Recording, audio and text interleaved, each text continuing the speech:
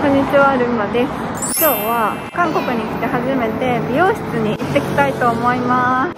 今髪の毛がこういう状態なんですけどそんなに自分としては、まあ、色は抜けてるけどオリーブっぽくて悪くはないかなと思ってるんですけどもうすぐ染めて2ヶ月ぐらいになるのでなんで美容室に行ってきたいと思います。今日行くところはですね日本人の方がされてるみたいで韓国語喋れなくても大丈夫みたいなので日本語喋れなくて美容室どこ行こうか困ってるっていう方は行ってみるといいと思います。ではこの髪色がどうなるか楽しみです本当はオレンジにしようと思ったんですけどオレンジにすると着る服とかが選ばないといけないので一旦オレンジはやめてミルクティーっぽい色かブラウン系にしようと思ってます。店員さんと相談してそこは最後決めます。まだちょっとね顔が赤いんですけどまあ髪なので大丈夫ですね。ということで行ってきます。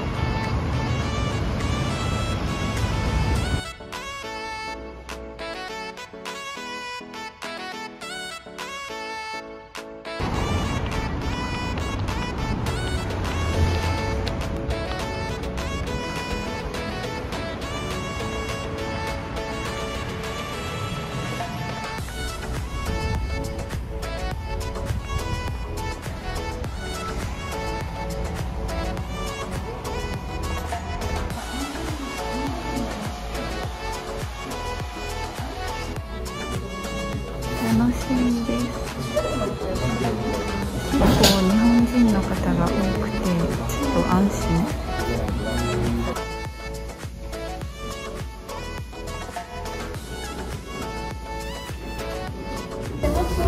最初したところがムラが気になる感じやから今線がこうバーって縦に入っちゃう横に入ってるからぼかすのに縦にハイライトを入れるとぼかせるのとムラがあるところだけあの集中してブリーチしたら最近ここに来たんですか？最近ここに来た。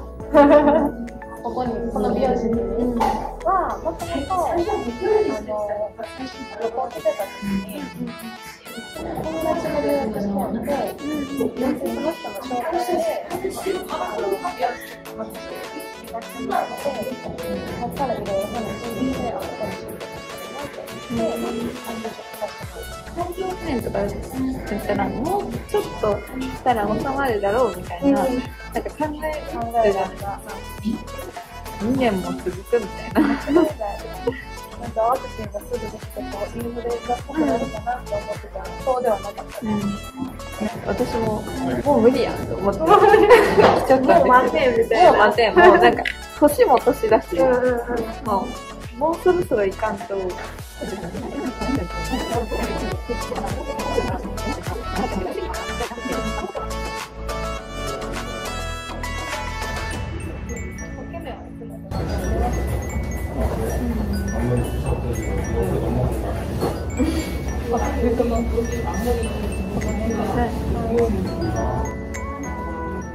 ゃ今更なん。ですけど関西弁可愛いですよね関西弁めっちゃ今更や何かと思った。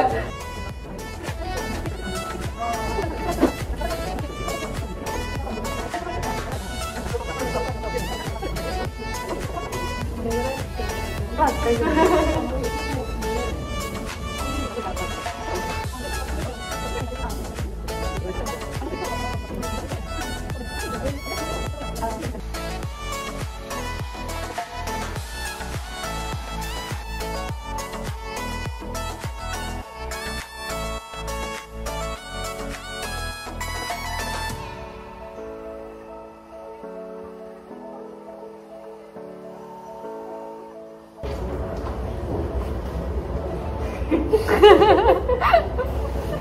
音声も入る。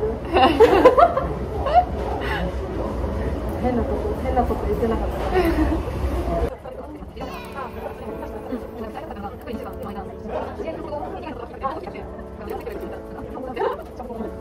横の部分をカバーしてこの下こんな感じで後にこ黒いがた。らのが上がってくる。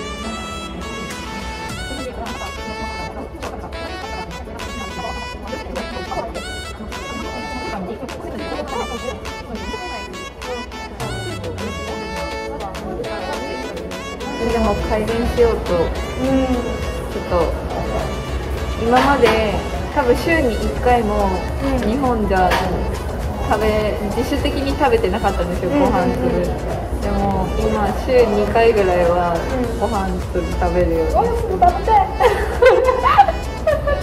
ご飯すぐ食べよう。ご飯大事ですよね。ご飯ほんまに大事やでいやでもめっちゃ太りましたね。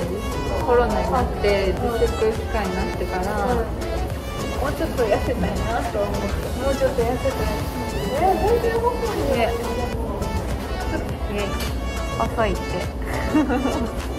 めっちゃいい感じ。大丈夫そうかな。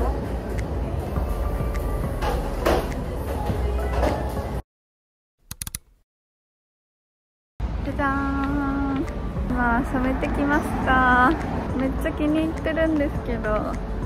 いい感じに。緑っぽかった色も抑えてくれてちょっとまばらだった髪色もいい感じになりました。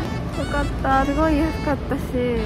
もうお姉さんめっちゃなんかね話しやすくて関西弁も可愛かったし色の相談とかも乗ってくださってめっちゃ良かったです。大満足。私結構意外と近いのでまた行きたい。えこれ結構リピ確実ですね。はい。どう？滞在時間はどんぐらいだったかな2時間半3時間ぐらいでしたね。あーめっちゃすっきり。気持ちいい